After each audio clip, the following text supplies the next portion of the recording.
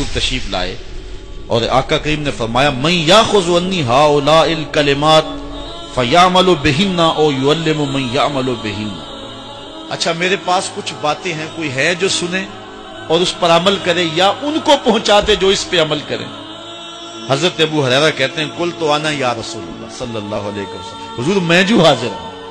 تو آقا کریم نے، فاخذ بے یدی. حضور نے میرا ہاتھ پکڑ لیا، فادا خمسن اور پانچ چیزیں گنوائیں۔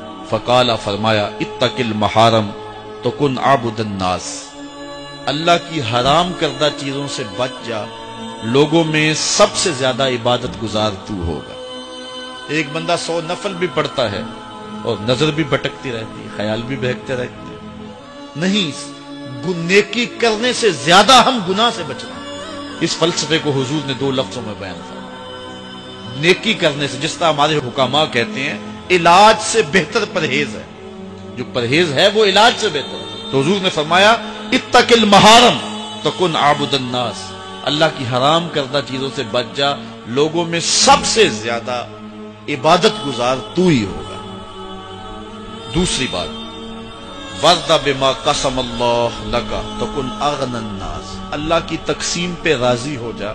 سب سے بڑا غنی تو ہی ہوگا۔ اللہ کی تقسیم پہ بندہ نہیں راضی ہوگا تو کیا ہوگا؟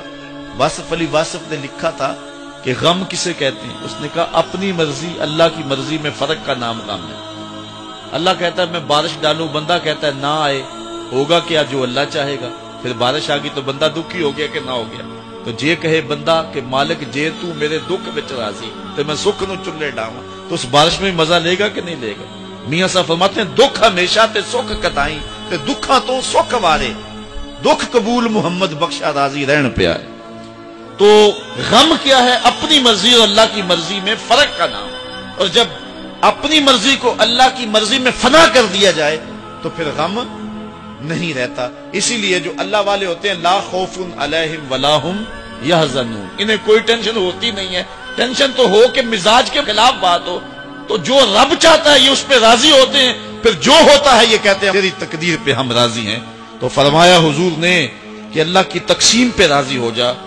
تو تو کن اغن الناس، لوگوں میں سب سے بڑا غنی تو ہی ہوگا۔ فقالا، پھر تیسری بات حضور نے فرمائی وہ احسن الا جار کا تکن مومن اپنے ہمسائے کے ساتھ اچھا سلوک کر مومن ہوگا۔ ایمان یہ ہے، ہمیں، ہم نے تو روایات میں پڑھا ہے کہ ہمسایہ بھوکا سو جائے تو چالیس دن نماز قبول نہیں ہوتی۔ ہمسائیگی کا خیال رکھو۔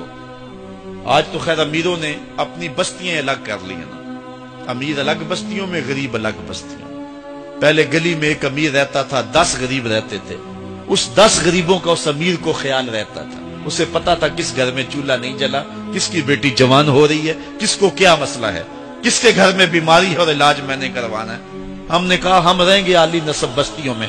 تمہاری ان کچی گلیوں میں تمہارے بد تہذیب بچے، ہمارے بچوں کو خراب کرتے ہیں۔ یہاں صحت بگڑتی ہے۔ یہاں جو ہے وہ مچھر اور ملیریا بہت سارا ہے۔ رب نے کہا، پھر ڈینگی تمہارے پاس بھی بیچوں گا۔ اور وہ صاف پانیوں میں ہی ہوتا ہے۔ آج ہم نے بستیاں الگ الگ کر لی ہیں۔ جبکہ ہمیں خیال دیا گیا کہ غریب لوگوں کا خیال رکھو غریب لوگوں کا لحاظ رکھو۔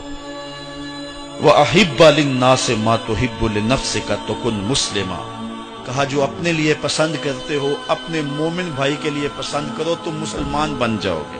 یہ ہے اسلام کا رنگ جو تمہارے اوپر چڑھے گا۔ مجھے اپنے والد گرامی کی ایک بات یاد آئی۔ آپ فرمایا کرتے تھے، جس شخص سے پیار ہو جائے نا، اس کی آخرت کے لیے سوچا کرو کہ اس کی آخرت ٹھیک ہو جائے۔ اس کے لیے محنت کرو، کوشش کرو، جو تم کر سکتے ہو کہ اس کی آخرت ٹھیک ہو جائے۔